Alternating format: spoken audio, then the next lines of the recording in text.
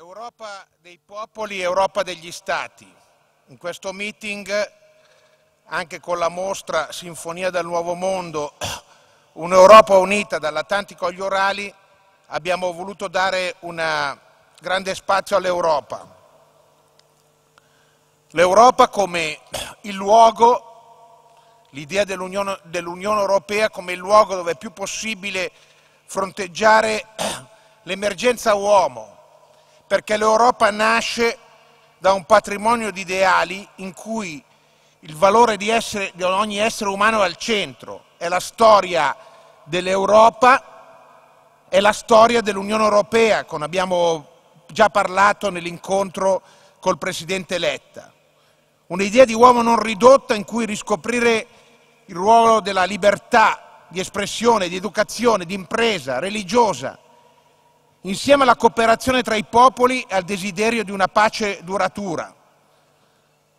Noi abbiamo visto, abbiamo documentato come questa è la chiave con cui è nata l'Europa e nella mostra si vede questa è la chiave con cui può ripartire, riparte, innanzitutto dall'esperienza di ciascuno di noi e di tanti europei, perché questa storia nasce dagli uomini gli statisti che le hanno dato origine erano degli uomini, vive in studenti, imprenditori, uomini di cultura, uomini di chiesa, uomini di religione, che decidono di fare di questo spazio comune un luogo di costruzione.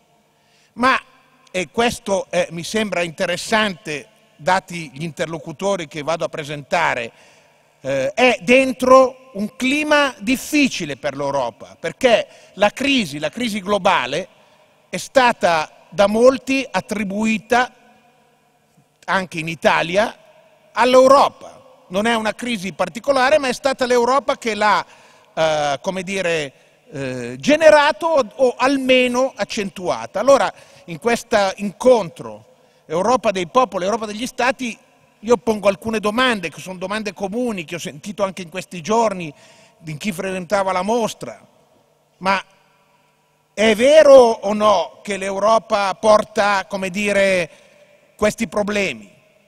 E l'unione monetaria è un fattore che aiuta o un fattore che ostacola? È, preferibile un'Europa a due velocità, un cammino comune di integrazione? È proprio possibile l'unità tra nord europei e sud europei, ma in qualche modo questo si sta spaccando. E ancora, ma è possibile in questa Europa una sussidiarietà verticale e orizzontale? È possibile perseguire ancora il, lo scopo di un welfare universalistico? Sono tante domande che, si, che, che abbiamo e sono domande cruciali, anche perché, come ci diceva il Premier Letta, ci avviamo l'anno prossimo, nel 2014, alle elezioni europee e il rischio di euroscettici che eh, vincano è molto forte. Allora quindi per noi questo incontro ha un valore centrale in questo meeting e altrettanto centrale è eh, eccezionale direi è il, è, sono i relatori. Luis Miguel Poyares Maduro ministro per lo sviluppo regionale della Repubblica Portoghese, grande costituzionalista che abbiamo già sentito ieri nell'incontro con...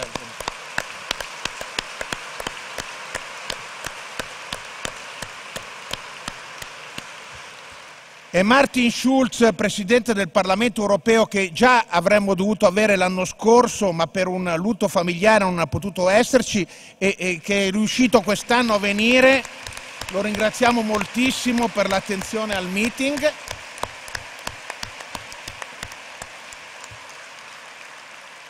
Comincerà l'incontro con un intervento di saluto di Pasquale Valentini, segretario di Stato per gli affari esteri della Repubblica di San Marino, quindi sentiremo i nostri relatori. Chiamo quindi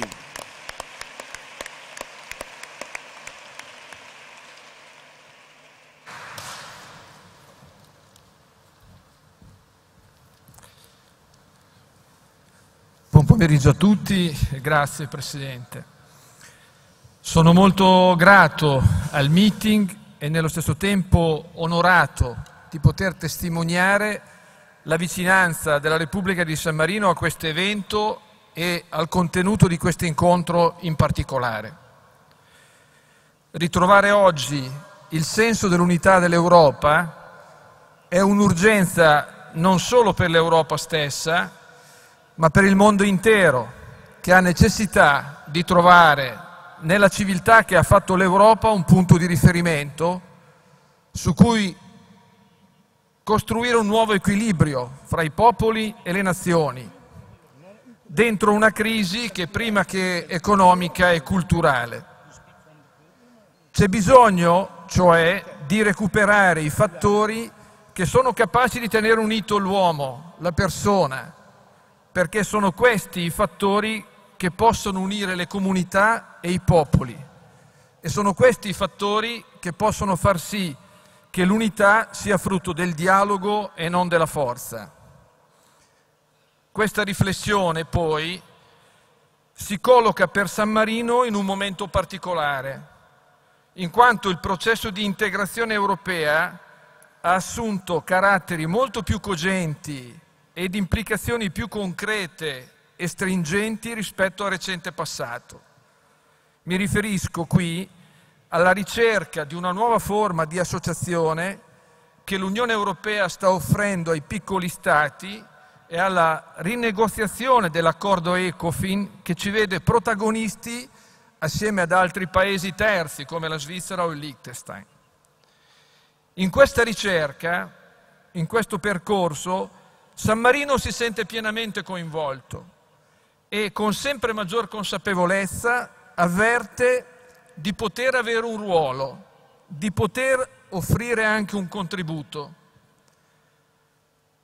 Quale possa essere questo contributo ce lo hanno ricordato negli ultimi tempi in maniera autorevole due grandi personalità che hanno fatto visita al nostro paese. Sua Santità Benedetto XVI e il segretario generale delle Nazioni Unite Ban Ki-moon. Sua Santità ci ha ricordato che la nostra identità ha un'origine precisa, è frutto di un'eredità che è la base della nostra originalità, quell'amore per la libertà che distingue il nostro popolo e che ha nelle radici cristiane il suo insostituibile fondamento. Nel 1296 Martino di Montecucco umile montanaro analfabeta abitante di San Marino, chiamato a testimoniare in un processo su questioni di indipendenza e quindi di tributi, al giudice che gli chiedeva quid est libertas, che cos'è la libertà, con estrema naturalezza rispondeva homine esse liberum et abere suum ed eo non tenere aliqui nisi domino nostro Gesù Cristo. L'uomo nasce libero e possiede il suo e di questo non deve rispondere ad alcuno se non al nostro Signore Gesù Cristo. È questa coscienza semplice ma sicura la base di un'autonomia statuale che ha retto per secoli e ha fatto del nostro paese un paese di pace e di ospitalità.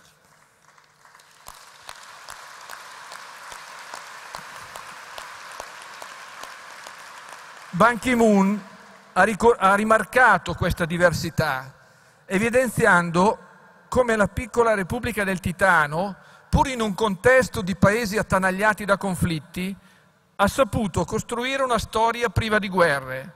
Non solo, ma il suo impegno è andato ben oltre, offrendo rifugio a coloro che numerosi fuggivano dai combattimenti quasi 100.000 durante l'ultimo conflitto mondiale, compreso un numero significativo di ebrei, come documenta la mostra presente nel nostro stand. Ban Ki-moon è rimasto colpito dalla nostra tradizione di democrazia e ne ha tratto spunto per sottolineare come i piccoli stati siano portatori di una originalità che può costituire una specie di cartina al tornasole della capacità della comunità internazionale di organizzarsi nel rispetto delle identità presenti. Il leone possente ha una grande forza, ma un uccellino può volare. Con questa immagine, tratta dalla natura, Ban Ki-moon ha voluto significare che tutti gli stati meritano le stesse opportunità di espressione, a prescindere dalla loro dimensione, ricchezza o influenza geostrategica. Ora, con questa consapevolezza, che definisce anche la responsabilità di cui ci sentiamo investiti in questo tempo, siamo impegnati a continuare il nostro lavoro di presenza in ambito internazionale. In particolare, accogliendo l'invito dell'Unione Europea, siamo impegnati in un percorso di maggiore integrazione che ci consenta di partecipare in maniera più significativa alle scelte comunitarie e conseguentemente ci apra nuovi spazi di operatività nel mercato interno dell'Unione. Guardiamo pertanto con estremo interesse ai lavori di questi giorni e siamo certi anche che da questo incontro partirà un rinnovato slancio di costruzione. È l'augurio sincero che formuliamo e di questo vi ringrazio. Grazie.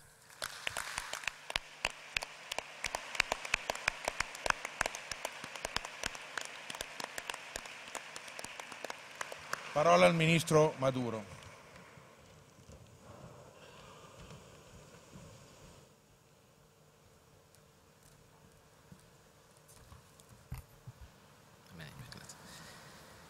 Vi ringrazio per l'invito per ritornare al meeting a parlare sull'Europa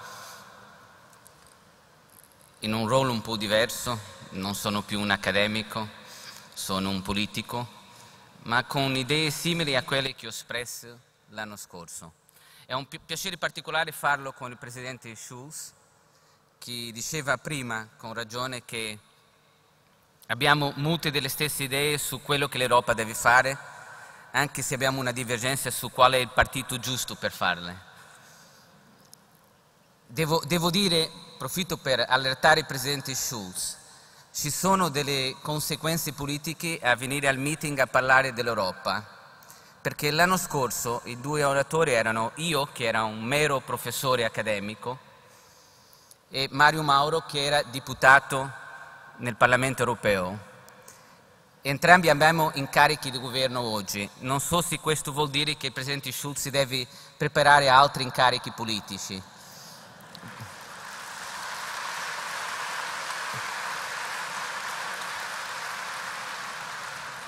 Saremo qui per vedere l'anno prossimo.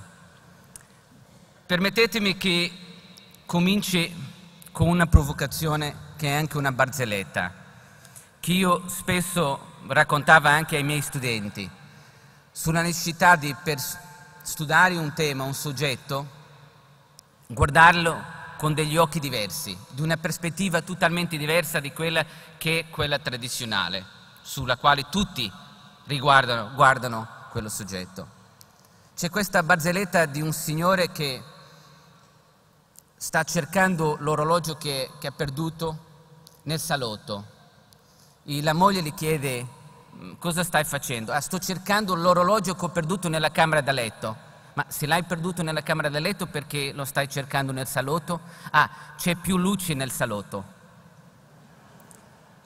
Questo è un vizio, un problema abituale nell'analisi accademica, scientifica, anche politica di molti problemi. Spesso per trovare una soluzione bisogna rovesciare la forma come guardiamo il problema e la questione. Bisogna uscire fuori dalla nostra zona di conforto intellettuale, cercare di pensare in una materia di forma diversa di quella che la nostra cultura intellettuale ci leva ci, ci porta a pensare su quello soggetto. Questo è così in molte materie, su molti soggetti. Io ho una, un slide, chiedo che forse le possono mettere.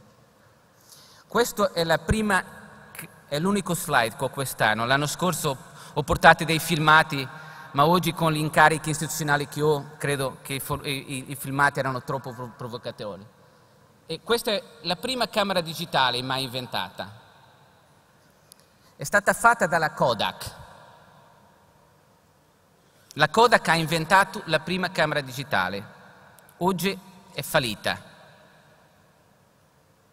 Perché? Perché loro hanno visto questa camera digitale che avevano inventato e hanno detto no, questo è troppo, troppo ingombriante, non va a funzionare mai, non funziona. Dobbiamo mantenere le camere tradizionali con la pellicola tradizionale. non sono riusciti a anticipare sviluppo, gli sviluppi possibili con questa Camera. Come non l'hanno fatto, hanno rimasti attaccati alla vecchia tradizione di produzione e di concezione della fotografia e hanno finito con il fallimento. Non hanno riuscito a pensare oggi con la logica del futuro e per questo hanno fallito. Vi potevo dare altri esempi. Immaginatevi che qualche anno fa, dieci anni fa, qualcuno veniva da voi e vi chiedeva di finanziare un progetto per una nuova enciclopedia. E, ci avevano due gruppi che vi chiedevano finanziamento. Il primo vi diceva, io ho questi, ho mille licenziati eh, accademici delle migliori università del mondo, Harvard, Oxford, la Sapienza, Pantheon Sorbonne, tutti i grandi scienziati e accademici del mondo fanno parte dell'equipo che, che scriverà la mia enciclopedia e vi chiedo il finanziamento. E poi veniva un altro gruppo e vi chiedeva, anche noi vogliamo fare un'enciclopedia e vi chiediamo il finanziamento. E allora qual è il vostro progetto di enciclopedia? Ah no, facciamo un sito, un site online, qualcuno viene e può scrivere su qualunque soggetto. Quale credete avrebbe stato la vostra risposta? Quale avresti finanziato? Il primo, non il secondo. Il secondo si chiama Wikipedia. Questa difficoltà che risolvere i problemi del futuro con una matrice culturale del presente, non riuscendo a immaginare quello che è il futuro, è una grande difficoltà anche nella politica. E vorrei dire è una delle grandi difficoltà per l'Europa per trovare le risposte giuste oggi. Allora quello che vi chiedo è un po' di fare un esercizio lasciando di, di lato un po' il ceticismo quando ho presentato alcune di queste proposte la prima volta, ancora come accademico, mi ricordo in una conferenza dove c'erano tanti altri accademici, anche politici, si discutivano gli euro bonds, altre proposte. E poi qualcuno faceva una proposta e diceva no, questo non funziona per questo, questo no. E poi io, era nell'ultima sessione, ho fatto le mie proposte, che poi in buona misura hanno stato anche presentate al Parlamento europeo, in un rapporto al Parlamento europeo e ho presentato qualcuno mi ha detto no, questo sarà impossibile. E la mia risposta è stata, bah, abbiamo discusso un giorno e mezzo di tutte le vostre proposte impossibili, possiamo discutere dieci minuti sulle mie proposte impossibili. Io credo che la soluzione politica economica per l'Europa dipenda di una proposta impossibile. L'unica decisione che dovremmo fare nel futuro e quale delle proposte impossibili per l'Europa sarà possibile. Perché il, lo status quo, anche quello, è impossibile. E come ho detto, voglio fare con voi, un po' come l'anno scorso, un esercizio per capire dov'è la vera natura dei problemi europei e qual può essere le soluzioni. La, per me il primo punto importante è capire che la natura della crisi economica e finanziaria dell'Europa è anche una crisi della democrazia. Ma non perché la crisi finanziaria dell'Europa ci ha portato a una crisi democratica, ma anche perché all'origine della crisi finanziaria e economica dell'Europa ci sono dei problemi democratici. Due problemi fondamentalmente. Il primo è uno, una delle ragioni delle crisi è sicuramente le politiche irresponsabili a livello dei bilanci, a livelli economici di alcuni Stati, che poi hanno finito per coinvolgere, coinvolgere tutti gli altri Stati. Le responsabilità a livello di politiche fiscali, politiche di bilancio, di politiche economiche di alcuni, di alcuni Stati, ha, in virtù dell'interdipendenza creata dall'Unione Economica Monetaria, creato un effetto di moltiplicazione ne, negli altri Stati. Ha finito per coinvolgere tutti gli Stati dell'Unione Economica e Monetaria. Questo è anche un problema democratico, perché questo ci dice che le politiche di bilancio, le politiche sull'economia, le politiche finanziarie di un Stato hanno delle conseguenze per gli altri stati dell'Unione economica e monetaria e spesso le politiche del primo Stato non prendono in conto queste possibili conseguenze in, altro stato, in altri Stati. Questo è un problema democratico.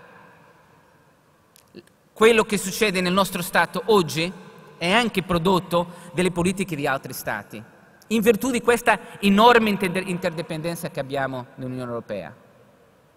Il secondo fattore molto importante nella crisi, oggi non voglio discutere qual è il fattore più importante, qual è la variabile che spiega di più la crisi che abbiamo. È un problema democratico non degli Stati in un contesto di integrazione, ma dei mercati. Una delle cause anche della crisi, o forse meglio, uno dei fattori che ha aggravato la crisi finanziaria, ha a che vedere con i flussi di capitali senza limiti, soprattutto nel contesto dell'unione monetaria. Con la creazione di un'unione monetaria i flussi di capitali soprattutto hanno venuti di stati del centro, per le stati del, della periferia europea, mantenendo artificiosamente bassi le tasse di interesse e creando una bolla creditizia che poi in alcuni stati ha condotto alla crisi. Quando c'è stato un momento di sfiducia dei mercati nella capacità di quegli stati di pagare i suoi titoli, di stati, questo ha creato una specie di run nello, sullo, sullo Stato, simili a run on the banks, che ha aggravato ancora di più la crisi, la crisi. Anche qui questo può essere costruito come un problema democratico, perché? Perché questi movimenti di capitale non vengono più soggetti a un controllo democratico, non sono più suscettibili di controlli democratici dalla parte dello Stato, e non sono ancora soggetti a veri controlli democratici della parte della propria Unione Europea. Questo problema democratico dei flussi di capitale, dei mercati di capitale, non può essere più corretto di uno Stato in un contesto di unione monetaria.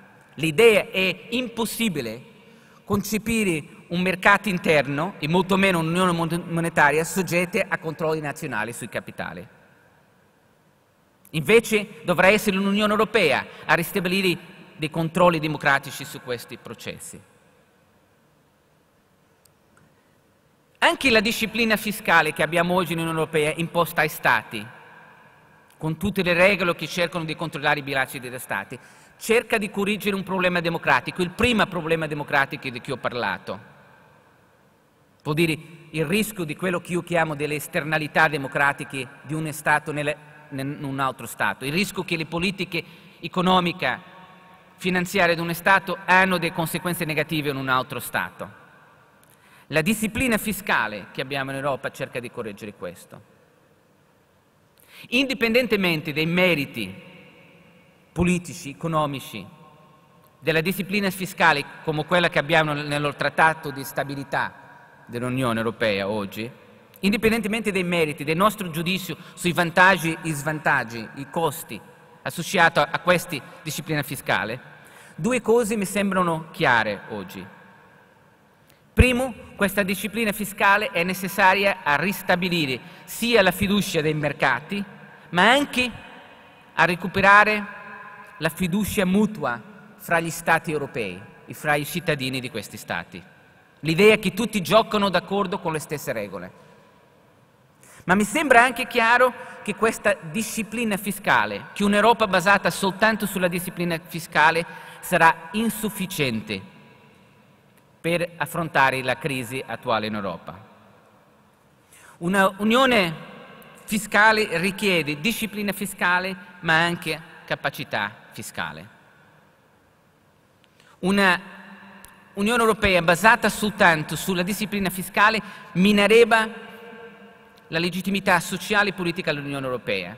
Perché o i processi politici nazionali riuscirebbero a preservare la propria autonomia e metterebbero così in questione l'efficacia di queste norme di disciplina fiscale europea, oppure questa disciplina fiscale, questa disciplina finanziaria dell'Unione Europea costituirebbe un spazio non politico a disciplinare i processi politici nazionali, mettendo in questione la stessa democrazia.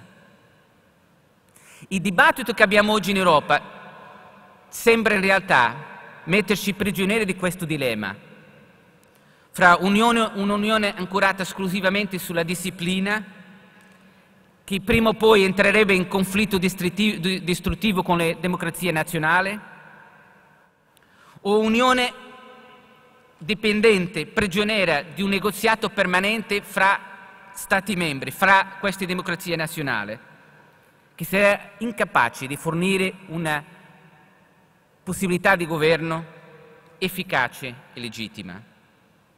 Io penso possa es esistere un'alternativa, ma perché, per trovare questa alternativa dobbiamo soddisfare alcune condizioni. Prima, l'Unione Europea ha bisogno di una vera autorità politica. Infatti, senza una vera autorità politica nell'Unione Europea non abbiamo le condizioni di effettività e credibilità capaci a un governo dell'Unione Monetaria. E senza questo non ha fiducia dei mercati, per esempio. Ma abbiamo anche bisogno, questa autorità politica chiara dell'Unione è anche importante per avere vera responsabilità politica all'interno dell'Unione, sia con l'istituzione europea sia con gli Stati membri. Il carattere troppo diffuso dell'autorità politica europea, non sapere veramente chi è responsabile di chi, chi governa, chi comanda, chi decide. Non sapere questo, questo carattere troppo diffuso dell'autorità politica europea, rende l'individuazione della responsabilità virtualmente impossibile permettendo un doppio rischio di manipolazione. Spesso gli attori politici nazionali riescono a fare a livello europeo cose che non possono fare a livello nazionale, colpabilizzando le istituzioni europee. Ma di più in più anche succede che le istituzioni europee sono consapevoli che la successiva applicazione delle proprie scelte politiche da parte dei governi nazionali possono fare eludere la sua stessa responsabilità. E c'è questo doppio rischio a livello delle responsabilità politiche in Europa. E allora dobbiamo avere un'autorità politica chiara per permettere una responsabilità politica chiara. Dobbiamo anche ristabilire la fiducia reciproca tra gli Stati e tra gli cittadini. Oggi alcuni cittadini di alcuni Stati pensano che stanno pagando gli errori e persino gli inganni commessi dai altri Stati. Ma dall'altro lato i cittadini di questi Stati pensano che gli altri non fanno prova di sufficiente solidarietà. Invece stanno imponendo loro una forma di punizione collettiva. Per evitare queste concessioni distruttive della base dell'integrazione europea, le regole, sia le regole di questa, della disciplina che è necessaria, sia la solidarietà, che anche quella è necessaria, devono essere correlati agli obiettivi più ampi dell'integrazione europea e a una equa distribuzione dei suoi costi e benefici. Per questo dobbiamo anche rendere visibili ai cittadini i benefici e le conseguenze democratiche dell'interdipendenza, perché la percezione delle conseguenze democratiche di questa interdipendenza. La percezione che quello che io faccio nel mio Stato ha un impatto in un altro Stato renda accettabili le regole della disciplina di quello che possiamo fare a livello nazionale. Ma anche la percezione dei benefici generali prodotti dal processo di integrazione rendono più accettabile l'esercizio di solidarietà. Per questo è anche molto importante legittimare la solidarietà finanziaria che è necessaria nell'Unione Europea, correlandola alla richiesta generata dall'integrazione europea e non alla richiesta di alcuni Stati. L'idea che l'Unione Europea è un strumento per trasferire la richiesta di alcuni Stati ad altri Stati è un albero velenoso. Dobbiamo scindere la solidarietà finanziaria i trasferimenti finanziari tra gli Stati membri. Invece la solidarietà finanziaria nell'Unione Europea deve essere frutto del benessere, della richiesta che è prodotto del processo di integrazione europea. L'ultima condizione che abbiamo bisogno di riempire è quella di avere un'integrazione politica, ma un'integrazione politica basata su un vero spazio politico europeo. Perché un'integrazione politica europea basata sugli spazi politici, politici nazionali, che è quello che abbiamo già oggi, soffrirà sia manca della mancanza di quell'autorità politica chiara che ho difeso, sia sarà incapace di ricepire, di capire le ricadute, le conseguenze democratiche dell'interdipendenza in Europa. E perché spesso il problema delle decisioni a livello di Unione Europea è che come le decisioni dipendono da diversi leader nazionali che a sua volta rispondono a incentivi politici determinati dai suoi spazi pubblici nazionali e questi non capiscono le conseguenze dell'interdipendenza, gli incentivi all'azione dei leader politici in Europa sono quelli sbagliati, non corrispondono a quello che è necessario in un contesto di interdipendenza. Vorrei concludere con due passi concreti, due proposte concrete che mi sembrano possono essere dei passi importanti nel, per rispondere a queste condizioni.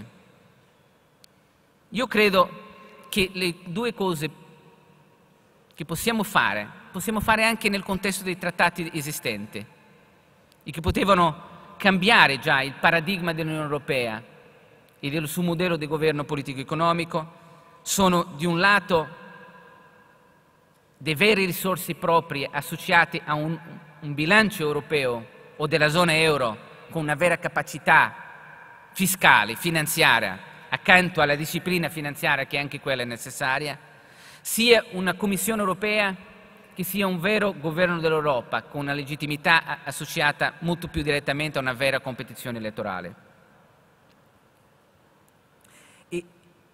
Il bisogno di un'Europa con una capacità finanziaria importante è fondamentale sia perché l'Europa abbia le politiche in grado di correggere le asimmetrie che indeboliscono il buon funzionamento dell'Unione monetaria, sia per affrontare le emergenze finanziarie come quelle che abbiamo oggi. Per me un bilancio europeo è un strumento migliore che gli Eurobonds perché il bilancio europeo sarà associato alle risorse proprie dell'Unione Europea, non a trasferimenti fra Stati, non a trasferimenti di rischi fra Stati membri.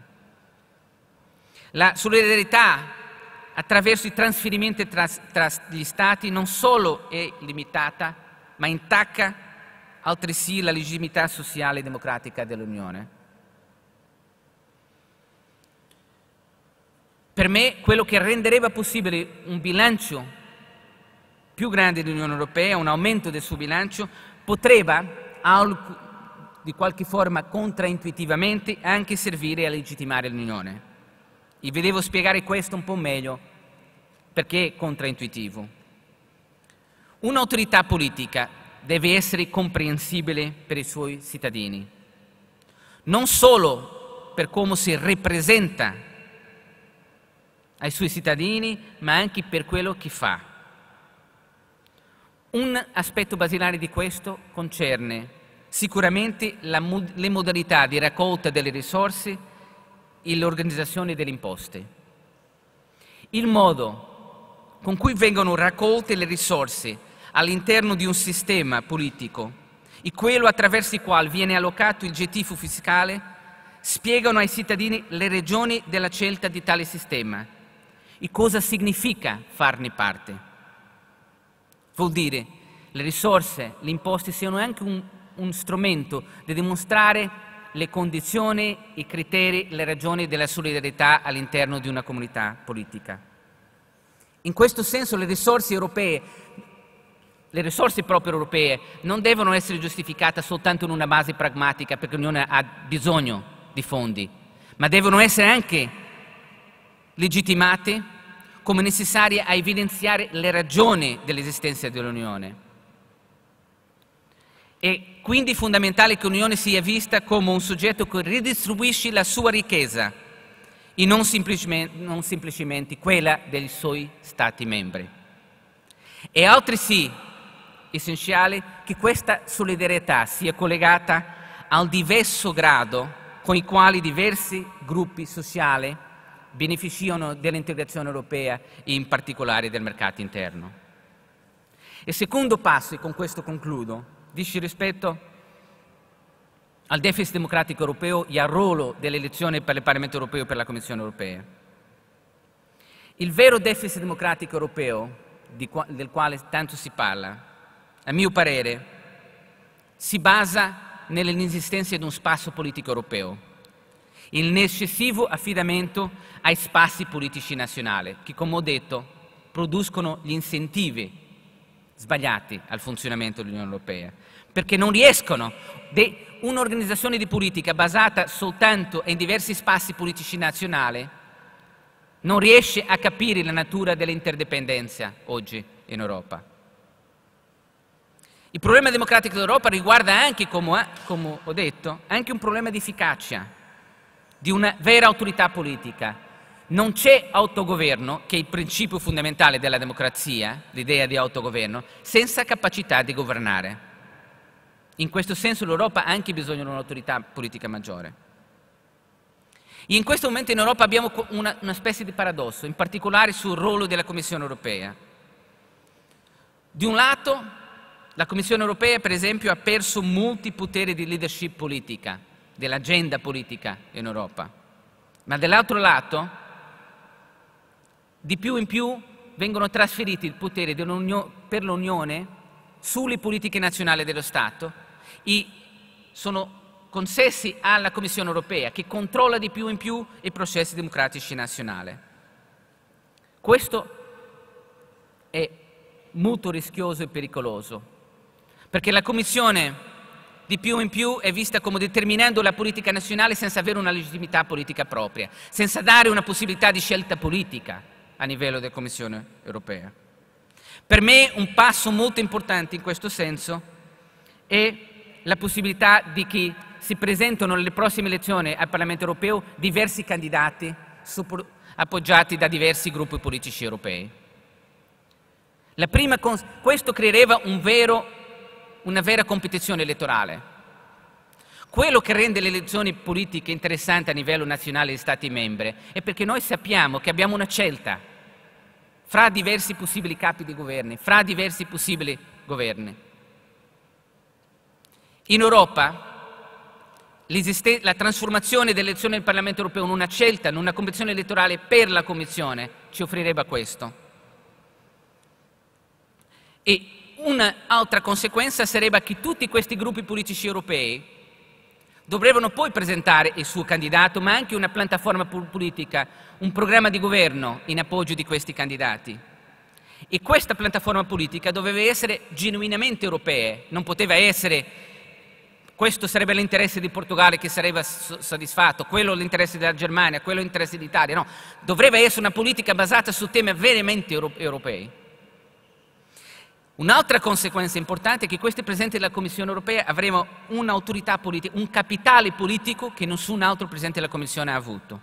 E questo le darebbe una capacità unica di perseguire le proposte contenute nel, in quella piattaforma politica.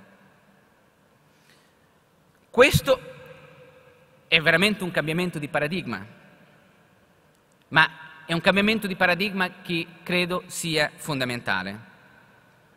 In un'Europa democratica i cittadini devono poter divergere sull'adeguesa delle politiche con le quali rispondere all'attuale crisi economica e finanziaria. Se no, l'unica alternativa che ramirà loro sarà quella di essere a favore o contro l'Europa. Se non permettiamo ai cittadini di discutere di diverse concezioni d'Europa, diverse politiche per l'Europa, l'unica scelta che le lasciamo è essere a favore o contro l'Europa. Questo livello di coinvolgimento da parte dei cittadini di molti stati sull'Europa è già visibile, paradossalmente, nell'interesse suscitato, sollevato di alcune elezioni nazionali. Io mi ha fatto molta impressione quando le, le ultime elezioni francesi, sarò sicuro che nelle prossime elezioni tedesche sarà lo stesso. Nelle ultime elezioni francesi in, Portog eh, in Portogallo, le televisioni informativi hanno trasmesso diretto, indiretto, il dibattito fra i diversi candidati presidenziali francesi. E probabilmente sarà lo stesso con le elezioni in Germania. i dibattiti elettorali tedeschi trasmessi diretti con traduzione diretta in Portogallo. Perché?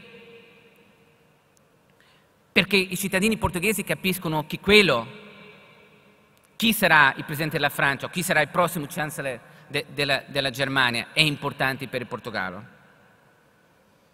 Questo è rivelatore, ma solleva anche un rischio, un rischio che i cittadini vedano le loro vite condizionate dalle politiche nazionali in cui non hanno voce in capitolo, perché i portoghesi non possono votare nell'elezione francese o nell'elezione germania. E l'unica alternativa possibile, e con questo concludo, è dunque quella di offrire questa voce a livello europeo. Grazie.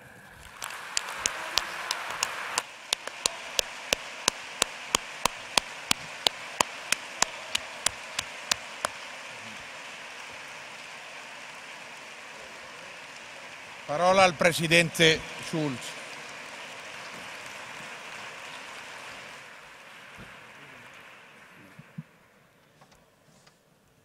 Cari amici,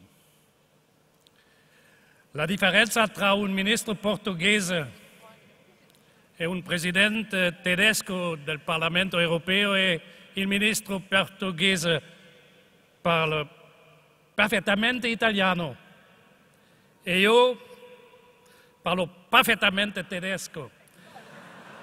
Und äh,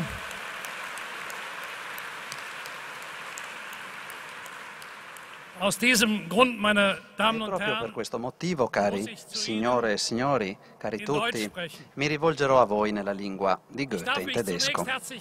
Prima di tutto vi ringrazio per avermi invitato, avermi invitato qui a Rimini al vostro meeting. Mario Mauro, il mio amico e collega del Parlamento europeo, mi aveva già invitato l'anno scorso, a dire la verità. Purtroppo, a causa di un lutto familiare, non sono potuto venire l'anno scorso, me ne dispiaccio. E quindi proprio per questo sono ancora più contento di essere qui quest'anno, oggi, per partecipare a questa discussione e per, per, spiegarvi la mia opinione, per dirvi come io vedo l'Europa del futuro, come sarà questa Europa l'Europa almeno come me la immagino io.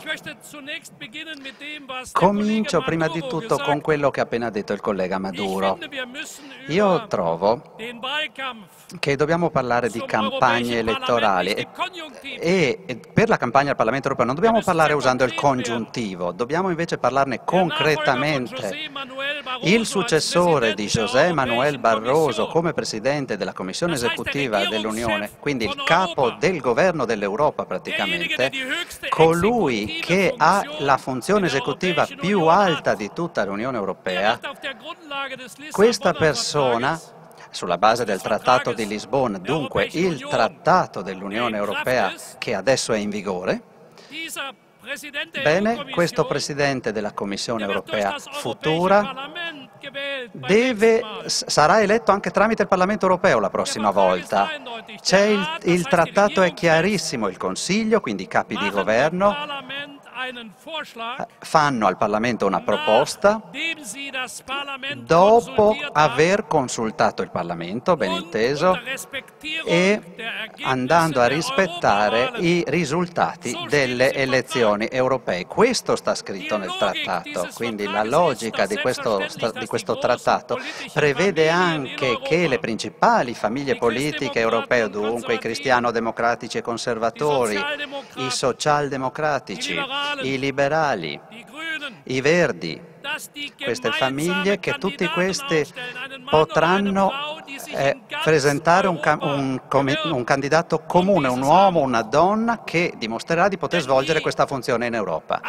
Perché il lavoro che deve fare un Presidente di una Commissione non, non riguarda il Presidente del Consiglio Letta, riguarda ogni singolo cittadino e cittadina dell'Italia e non riguarda neanche solo la cancelliera Merkel oppure il Presidente francese francese Hollande, riguarda tutti voi, ogni singolo cittadino tedesco, ogni singolo cittadino francese. Proprio per questo io ritengo che ogni cittadino dell'Europa, ogni singolo cittadino, a prescindere che siamo in Francia, Germania o Italia, ovunque, andando a votare alle elezioni europee per il Parlamento europeo l'anno prossimo, andrà ad avere un impatto e a decidere anche sul Presidente della Commissione.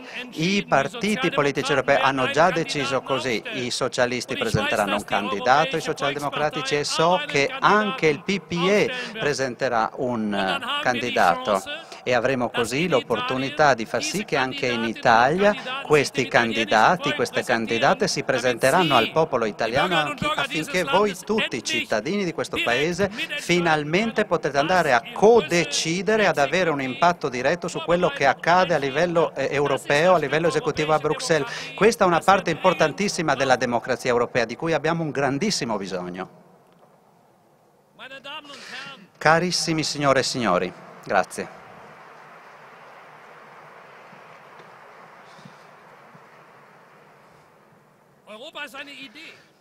L'Europa è un'idea. L'Europa è un'idea che si basa su solidarietà e sul rispetto. Rispetto dei popoli, prima di tutto, gli uni con gli altri. Solidarietà dei popoli, gli uni con gli altri. Però non solo dei popoli gli uni per gli altri, è anche un'idea del rispetto tra le singole persone. Rispetto tra le persone, che vuol dire? Vuol dire che ogni uomo ed ogni donna, a prescindere da dove vengono, a prescindere da quale religione hanno, quale credo, a prescindere dalla loro nazionalità, a prescindere dal lavoro che fanno, a prescindere che siano ricchi o poveri, a prescindere dal colore della loro pelle, ogni singola persona che vive in Europa merita lo stesso rispetto. E, e, uno dei principali problemi che abbiamo attualmente in Europa è proprio che parliamo sempre solo di cifre, di numeri, parliamo sempre solo di strutture. Quando finalmente parleremo del ruolo delle singole persone in Europa? Per me l'idea dell'Europa è proprio quella che prevede che ci sia una comunità di popoli e di persone in Europa, laddove il singolo, l'individuo sia al centro del dibattito e dell'azione politica. Dobbiamo in Europa discostarci finalmente dalle cifre e passare al rispetto per la persona.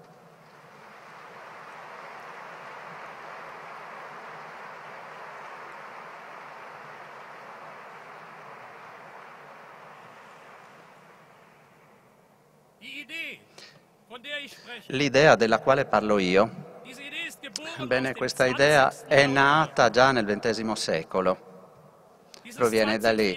Questo XX secolo ha avuto due parti principali.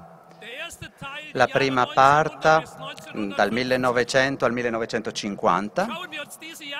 Andiamo a guardarci questo cinquantennio, questo prima metà secolo.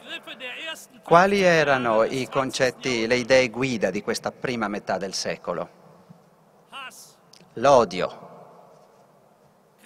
la guerra, il razzismo, rivendicazioni di potere esagerate, eh, atteggiamento imperialistico. Nella prima guerra mondiale 7 milioni di persone hanno perso la vita. Eh, soldati di tante nazioni che sono morti, che erano stati formati ovviamente nello spirito del XIX secolo, che, e che credevano agli ideali del campo di battaglia e dell'onore, invece sono morti durante la battaglia e che sono finiti nelle nuove tecnologie militari del XX secolo, purtroppo, trascinati lì.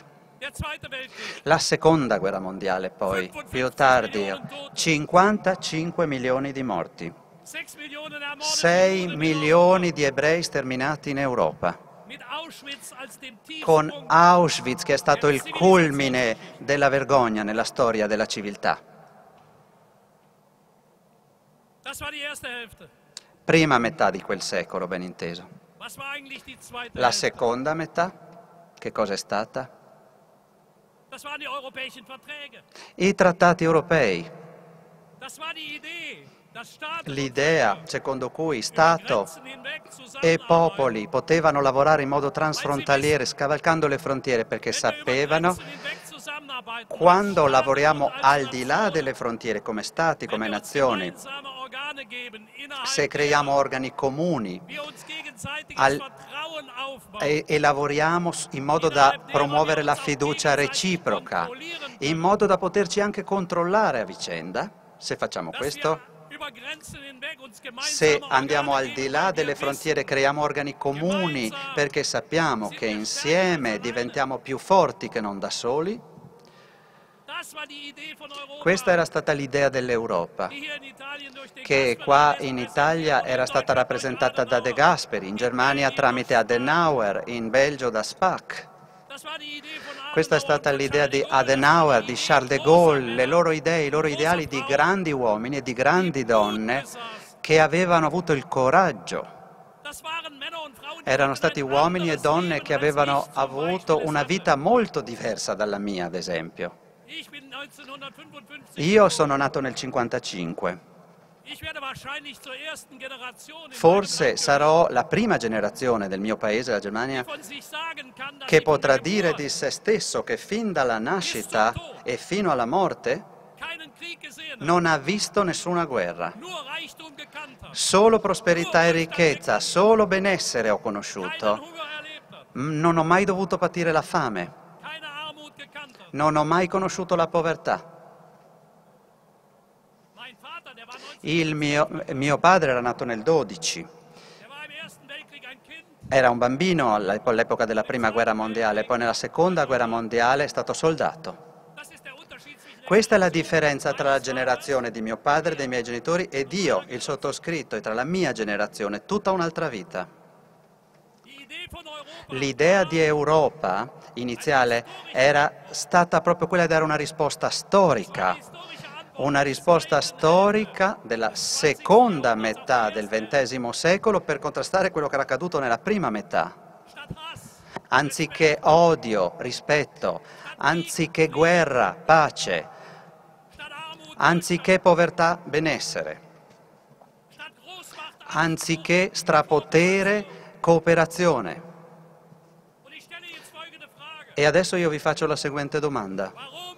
Perché a noi europei ed europee, noi non, perché non, non, ci crediamo più? Secondo me l'idea dell'Europa, se ci pensate, la principale conquista degli ultimi cent'anni, è un'idea straordinaria e quindi noi dobbiamo lottare e difendere quest'idea ideale di Europa.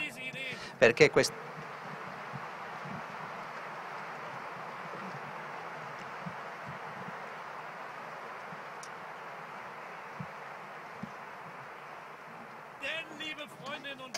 Perché, cari amici e cari amiche, quest'idea adesso corre dei rischi, è in pericolo. È in pericolo quest'idea. Io faccio il politico europeo di lavoro. E dico ai miei colleghi a livello europeo, lo dicono, dico la stessa cosa che dico ai colleghi nazionali, Stiamo attenti, guardiamoci bene, chiunque critichi l'Unione Europea, ogni critico, e se riteniamo chi critica un euroscettico, eh, no, e, e in realtà non tutti quelli che criticano l'Europa sono euroscettici sono contrari all'Europa. Anch'io esercito, faccio delle critiche all'Unione Europea, però sono un grande fautore sostenitore delle idee e degli ideali dell'Europa.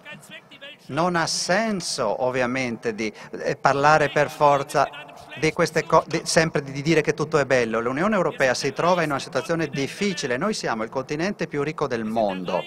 Siamo il continente più ricco del mondo in assoluto in Europa e ci permettiamo, ciò nonostante, di far sì che in certi paesi di questo continente ricchissimo il 50% dei giovani e delle giovani sono senza lavoro, sono disoccupati, è una vergogna gravissima e, delle, e non è degna dell'Europa questa vergogna.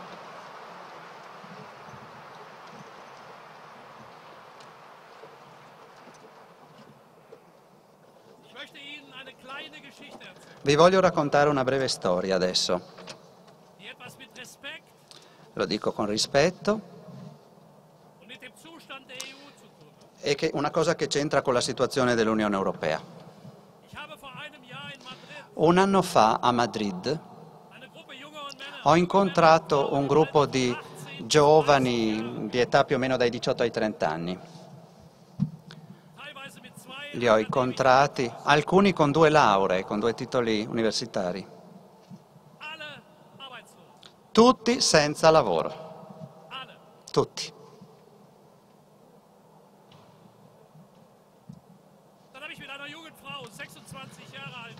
Poi ho discusso con una giovane, una ragazza di 26 anni, mi sono fermato a parlare. Questa giovane era architetta e psicologa, due lavori, due lauree.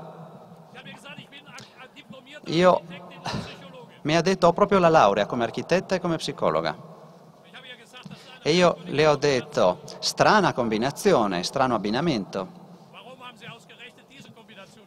Perché proprio ha pensato di studiare proprio questo strano abbinamento, architettura e psicologia?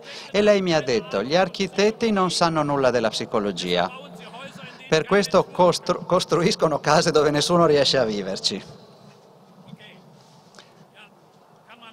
Ok.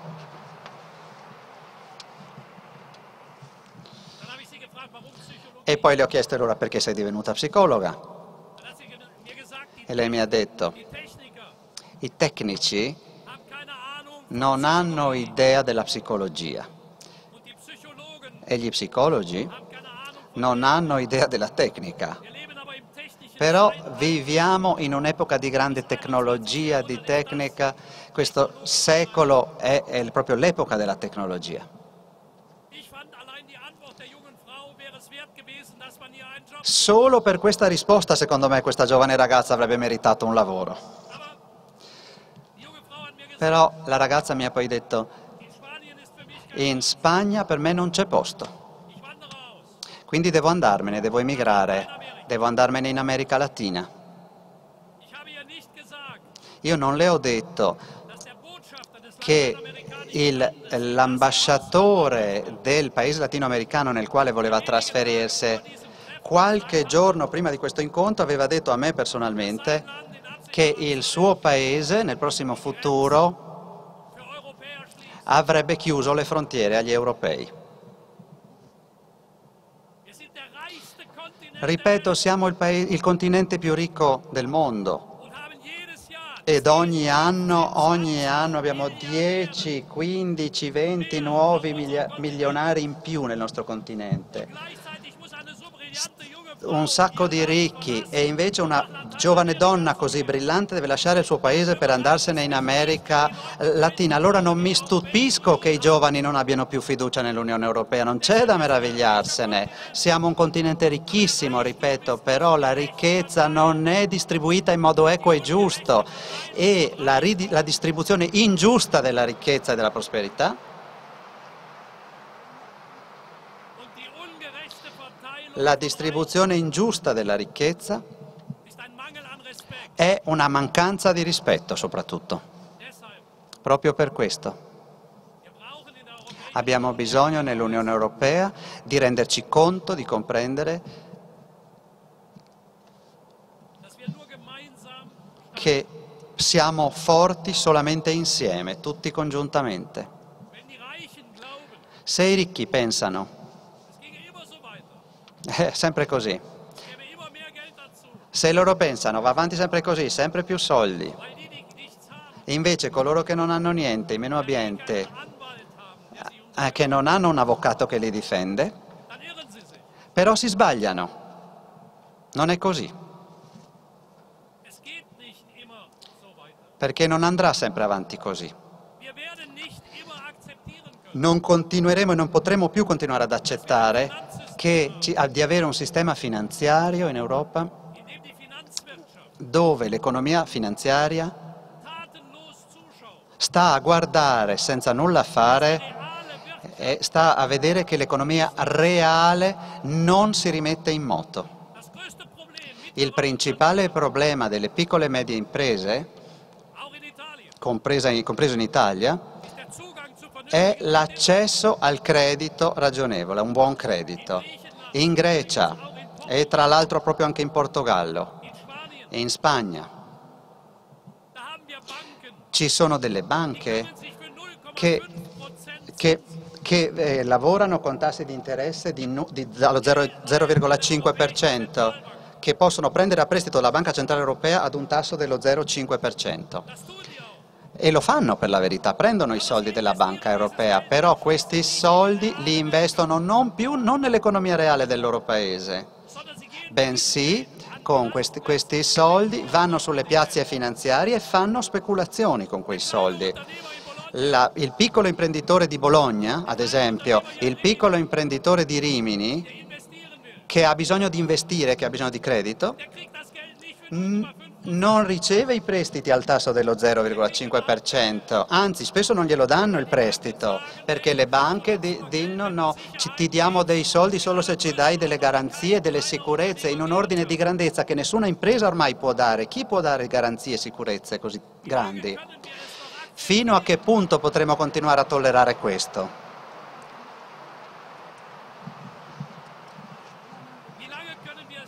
Quanto ancora possiamo tollerare questa situazione?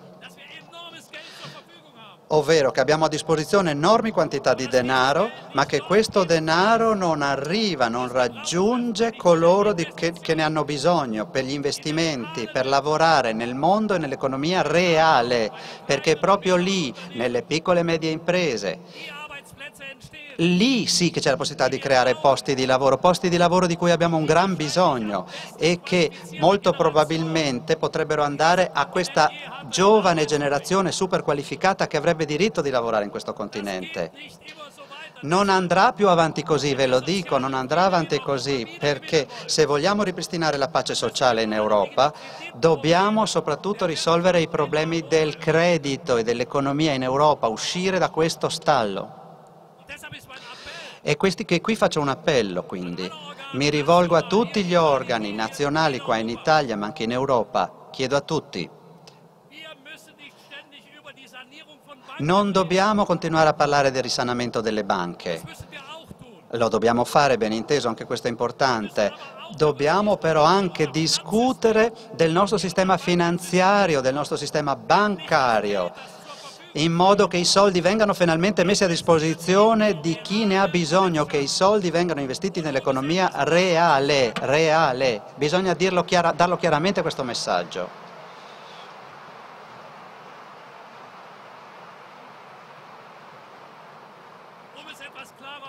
E per dirlo in modo ancora più chiaro, i redditi che provengono da speculazioni, da giochi speculativi, va bene, sono belli, per, per quelli che li incassano e li intascano. Cinqu però 59-60%, no, per il 96-97% delle persone però non è così, non sono quelli che li intascano. Quindi, se vogliamo ripristinare la fiducia nell'Europa, se, vogli se vogliamo migliorare serve una riforma profonda del nostro sistema finanziario. Il Ministro ha detto un'altra frase molto importante. Noi tutti ci guardiamo eh, reciprocamente alle rispettive elezioni. È chiaro che il risultato il 22 settembre in Germania avrà un impatto sulla Germania, è logico, ma avrà un impatto anche sull'Italia, avrà un impatto anche sulla Francia, avrà una ripercussione su tutti i paesi.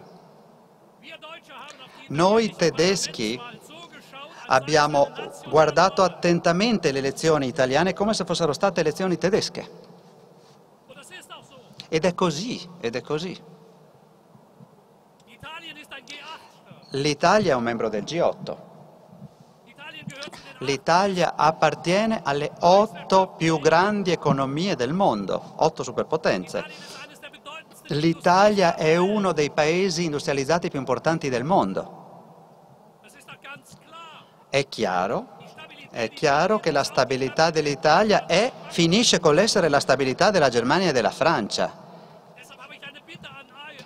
Per cui ho una, un invito da rivolgervi, una preghiera.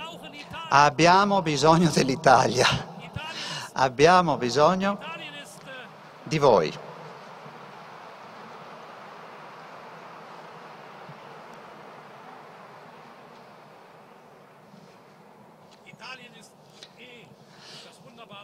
L'Italia è sia il paese meraviglioso, dove splende sempre il sole, tranne il giorno che vengo io a Rimini dove diluvia.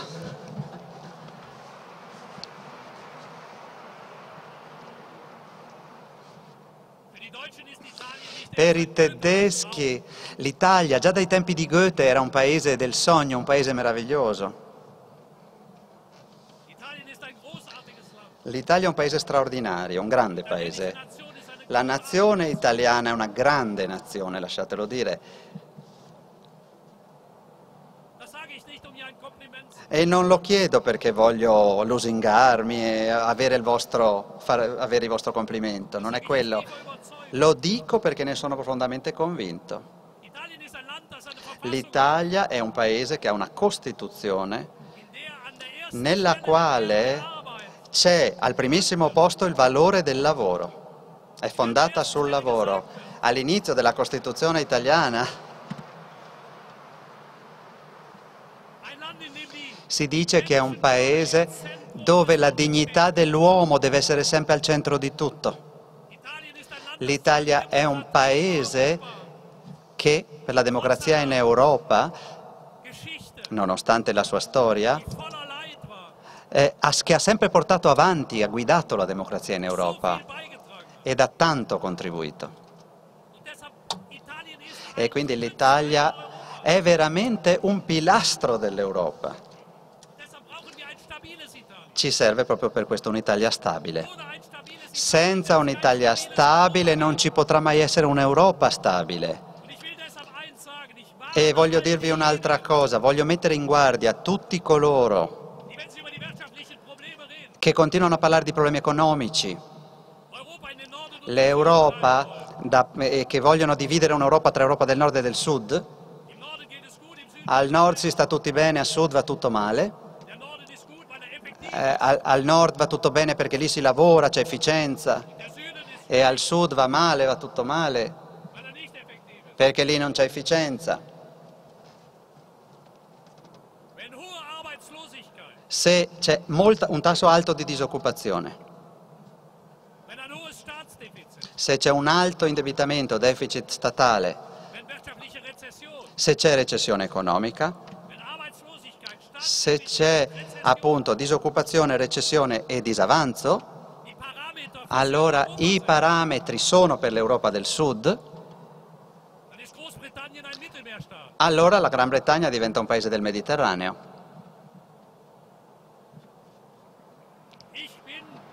Io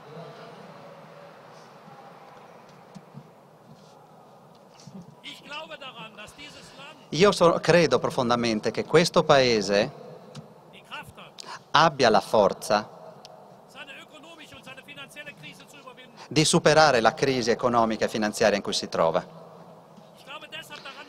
Lo credo e ne sono convinto perché gli italiani e le italiane sempre eh, una, ogni volta che c'è stata una crisi particolarmente acuta, hanno sempre tirato fuori la creatività, se, si sono sempre dati da fare, sforzati, e usato una creatività che appunto che li, li ha fatti concentrare, che li ha fatti lavorare per, far, per, capire che lo Stato è a disposizione di ogni singolo cittadino, in modo che ogni cittadino si senta tutelato, in, o, in modo che ogni singolo cittadino e cittadina si senta preso sul serio, in modo che le istituzioni pubbliche siano lì per servire i cittadini.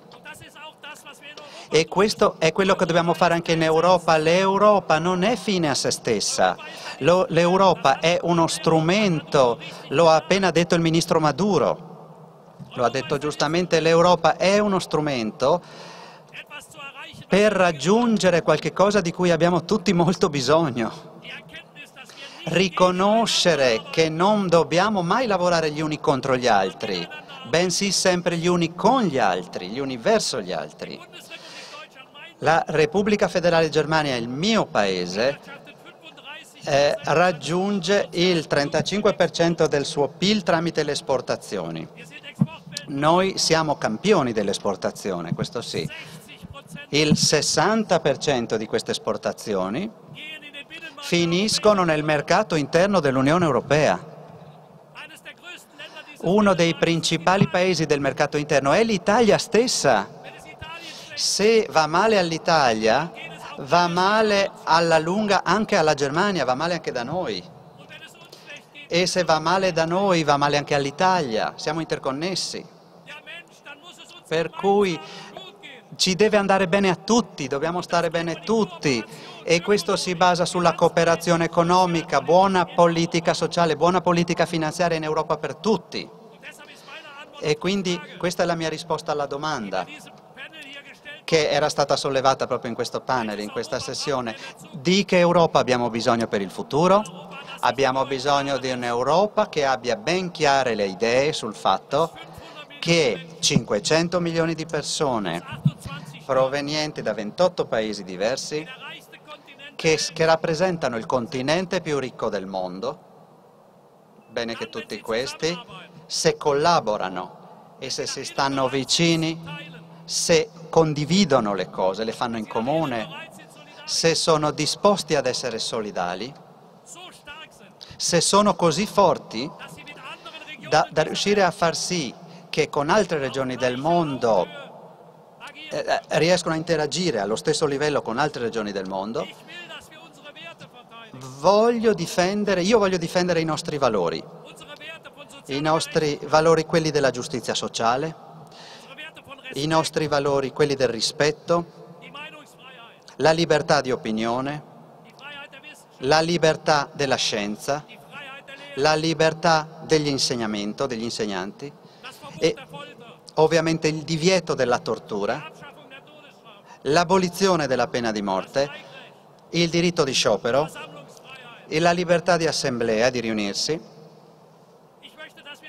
vorrei che questi valori non vengano in nessun caso messi in pericolo, messi a repentaglio e che quelli nel mondo, coloro nel mondo che, che non vogliono rispettare questi valori, che, che spengono internet quando non vogliono che ci sia nessuna opposizione, eh, le donne e i bambini che lavorano 40 ore al giorno e 14 ore al giorno per un dollaro, in fabbriche tremende che alle volte vanno in fiamme e loro non hanno neanche una via da, di fuga da cui scappare, che, oppure eh, stati dove eh, il contadino che si lamenta che nel piccolo fiume dietro la sua fattoria ci sono veleni nell'acqua, questo contadino magari viene torturato e ucciso e viene ritrovato da qualche parte buttato lì lontano da casa sua. Voglio che queste cose non ci siano e voglio che in Europa siamo così forti perché in Europa lavoriamo tutti insieme e ci rendiamo forti a vicenda. Perché ci sia una concorrenza in questo mondo in cui ci siamo. Che però noi non dobbiamo essere dipendenti da, da questa concorrenza al punto di dover rinunciare ai nostri valori. È chiaro che, e ovviamente, per, eh, ci sono contini, altri continenti del mondo che riescono a produrre in modo meno caro, in modo mm, più economico, però perché lo fanno?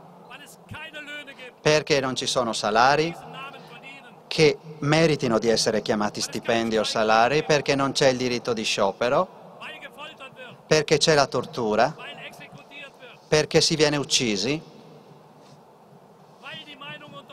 perché le opinioni vengono represse e messe a tacere, perché si viene sfruttati, perché le risorse naturali vengono sprecate fino all'estremo.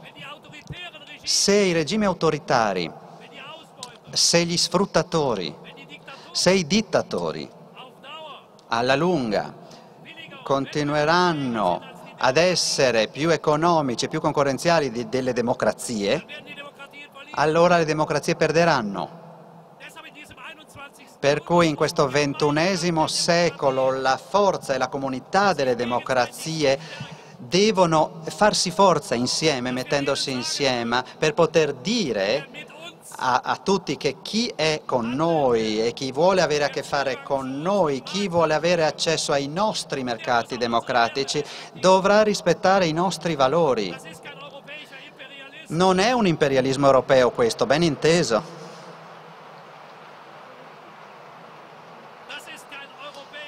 Non è un imperialismo europeo. Questa è la difesa dei nostri valori tramite una forza comune e in questo modo riusciamo a, a, portare anche libertà e rispetto in altre regioni di questo mondo, laddove ci sono, continuano ad esserci persone che vengono ridotte in schiavitù, che vengono private dei diritti, che vengono sfruttate in modo vergognoso. Proprio per questo la mia Europa è un'Europa del rispetto e della collaborazione. Il rispetto ovviamente che deve essere prioritario un rispetto della collaborazione dei popoli e delle nazioni al di là di ogni frontiera, perché sappiamo che insieme siamo molto più forti che da soli. E vi ringrazio.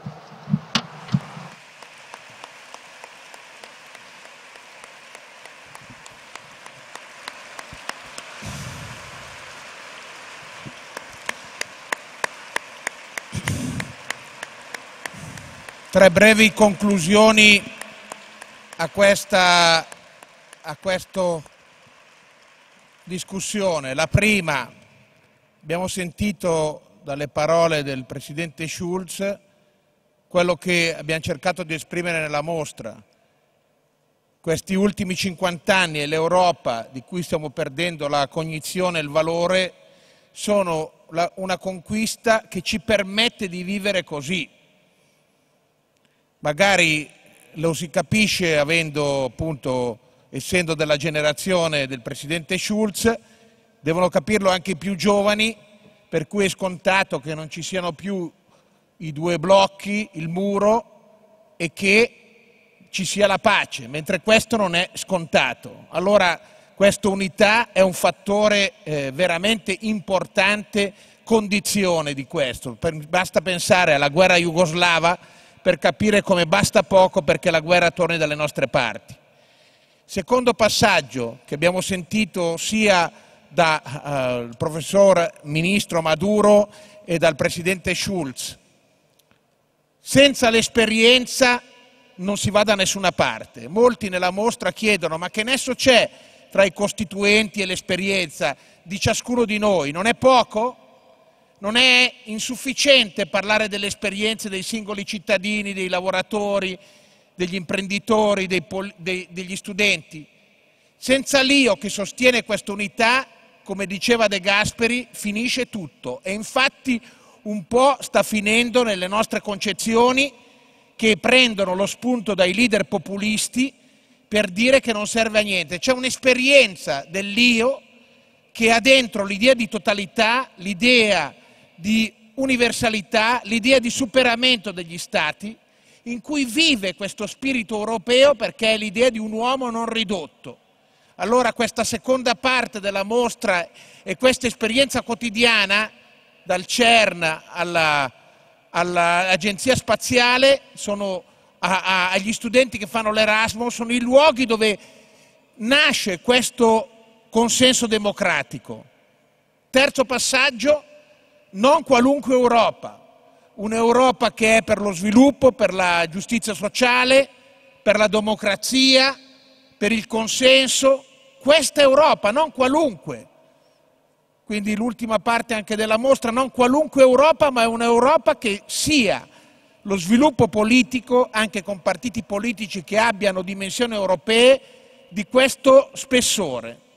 Noi in questo meeting, volendo batterci perché la nostra sia una presenza, non sia una cosa egemonica, vogliamo anche avere una politica alta, come diceva Enrico Letta, una posizione alta, una posizione che non è finita sul particolare del nostro Stato, ma ha questa dimensione che è la dimensione del presente e del futuro. Grazie, arrivederci.